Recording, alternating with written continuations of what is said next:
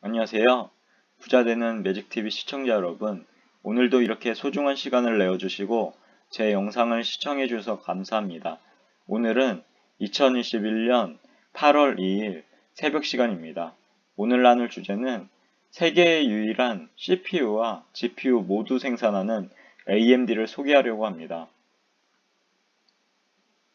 우선 두 가지에 대해서 알아볼 예정인데요. 첫 번째로는 세계의 유일한 CPU와 GPU를 모두 생산하는 AMD 주식 종목에 대해서 알아볼 예정이고요. 두 번째로는 해당 종목의 특징에 대해서 알아볼 예정입니다. 우선 세계의 유일한 CPU와 GPU 모두 생산하는 AMD에 대해서 알아볼까요? 우선 AMD는 현재 무엇을 하고 있고 어떤 부분에서 특출난 기업인지 한번 알아보겠습니다. 우선 AMD는 Advanced Micro Devices의 약자인데요.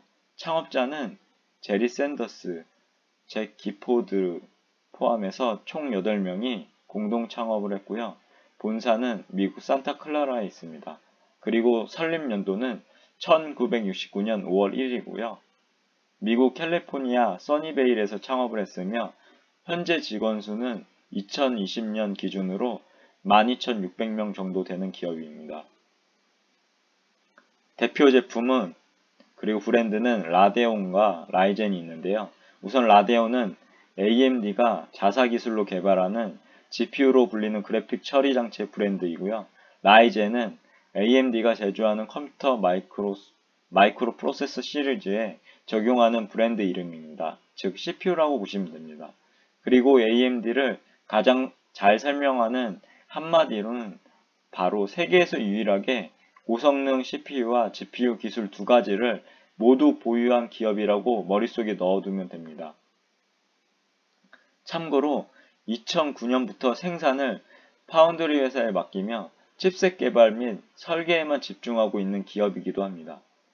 특히 AMD의 CPU와 GPU가 탑재된 통합 솔루션은 AI 및 고성능 컴퓨팅에 최적화되어 있고 최근에는 해당 기술력을 바탕으로 2021년까지 전 세계에서 가장 빠른 엑사급 슈퍼컴퓨터를 공동 개발하는 기업입니다.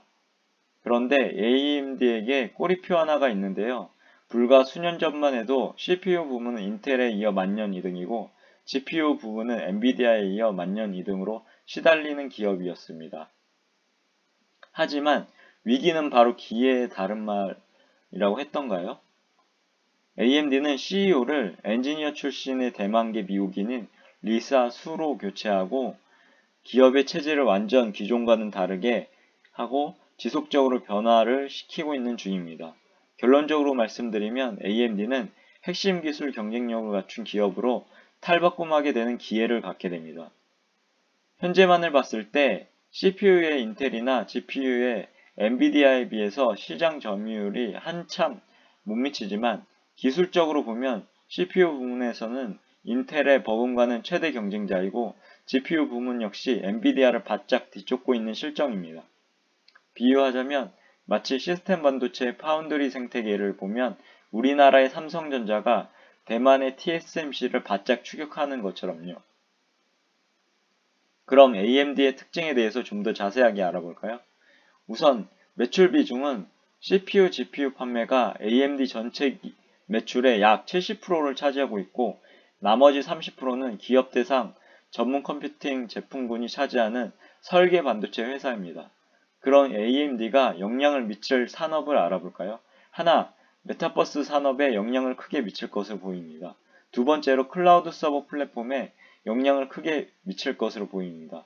우선 요즘 핫이슈인 메타버스 산업의 성장과 관련된 gaming 산업, 증강현실 등등에 사용할 고성능 CPU, GPU를 설계함으로써 메타버스의 시장에 큰 영향을 미칠 것으로 추정됩니다. 그리고 요즘 클라우드 서비스가 대세인데요. 아마존의 AWS, Microsoft Azure, 구글의 GCP와 같은 세계에서 가장 많이 사용하는 클라우드 서비스를 지원하는 서버 플랫폼에 AMD가 생산하는 데이터 처리 반도체 칩 제품이 많이 들어가고 있습니다. 결론적으로 향후 4차 산업혁명 시대 및 메타버스 시대에서 데이터를 가장 많이 가진 기업이 산업의 승자가 될 것으로 보이는데요. 향후 이런 빅테크 기업들의 데이터 센터 건립에 있어 어느 기업보다 큰 수혜 및 영향을 끼칠 것으로 예측됩니다. AMD를 재무적으로 바라보면 다음과 같습니다. 시가총액이 현재 148조 원이고요. 퍼가 37.59배입니다. 그리고 ROE가 66.27%이고요. 현재 평가 금액은 우리나라 기준으로 12만원 정도 하는 주가를 형성하고 있습니다. 위에 같이 차트상으로 보면 점진적으로 우상향하고 있는 기업임을 확인할 수 있고요. 우선 AMD는 미국 기업이라서 제가 좋아하는 다트 사이트에는 찾아볼 수가 없다는 게 단점이긴 하나 구글에서 검색하면 다 나오네요. 단지 손이 조금 많이 갈 뿐이죠. 그래서 저는 다트 대신 투자에서 유명한 사이트인 인베스팅 사이트를 한번 검색해 봅니다. 아무튼 미국 주식을 하려면 영어 공부가 좀 필요한데요. 요즘은 세계화 시대니까요. AMD의 financial summary를 보시면 다음과 같고요. 하지만 구글의 번역 기능이 있기 때문에 웬만해선 잘 이해가 되게 번역된 것을 확인할 수 있었습니다. 참고로 income statement는 손익계산서입니다. 반드시 주식을 투자하실 때 꼭 봐야 하는 것이죠. 아무튼 위에 영어로 된 내용을 우리나라 말로 요약하자면 다음과 같습니다. 2021년 6월 26일까지 26주 동안 AMD의 매출은 96% 증가한 73억 달러를 기록했다고 하네요. 우와, 정말 경이적인 수치인 것 같고요. 그리고 순이익은 3억 1,900만 달러에서 12억 7천만 달러로 증가했고요. 역시 이것 또한 경이적인 수치입니다.